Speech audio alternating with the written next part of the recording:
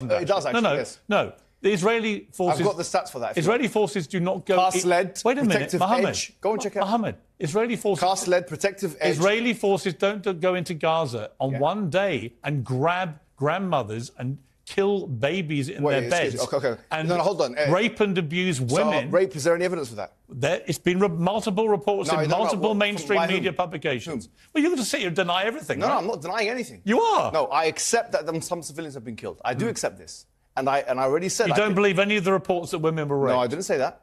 I said that it's still to Well, be do you think they were raped? No, I don't know. It's like the uh, Russell Brand thing. You said we don't know any evidence. So why do you apply uh, uh, two different not. standards? I'm saying it's been by reported- when it's Israel, we know they're raped. When it's Russell Brand, it's you don't know because you're No, friend. it's been reported by legitimate news sources. When it's. Israel, you I know they're believe- raped. But when it's I Russell Brand, you don't know. them. When it's Russell Brand, you There's don't know they're or not. comparison between Russell Brand and what's happened It's the here. same thing. It's a rape allegation.